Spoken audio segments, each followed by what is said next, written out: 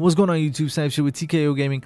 This is a video of all the legendary engrams I got from the raid. Plus, I'll show you guys the raid emblem plus a couple cool things, a helmet and a weapon I got from the raid.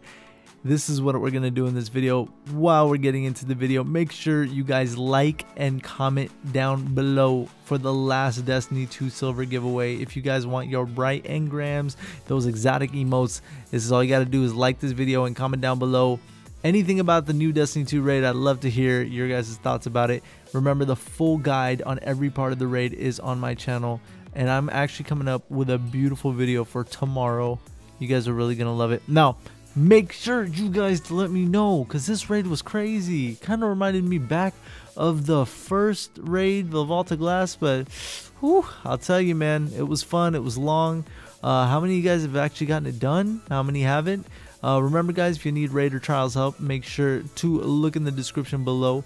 Uh, we're going to be starting off strong. We're going to try for World's First and Trials of Osiris, or Trials of the Nine, we should say. And then obviously, we're going to carry every single weekend it's out. So make sure you guys look in the description below if you want to be a part of that. Now, these engrams some of them were scaling to my light and some of them were not. Some of them came, they dropped with those legendary weapon mods, which was pretty cool.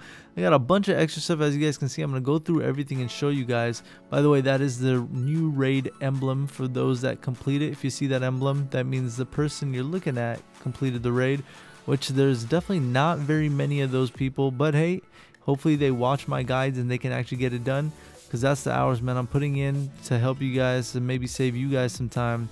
It's definitely a very tedious process. Trust me, I can relate with every single one of you guys.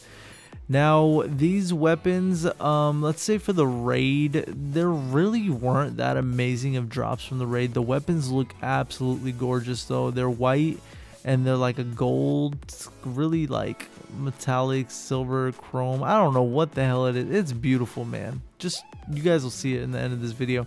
But uh, essentially, that's what it is, guys. I hope you guys enjoyed this little loot engram. It, there's crazy amounts of legendaries dropped in the raid. Trust me. Like, I got around 20, I think. Unreal. Uh, but uh, we'll see you guys in the next video. Thank you so much for watching. And uh, be sure to check out the other videos, subscribe, and turn on that notification with that bell. Peace out.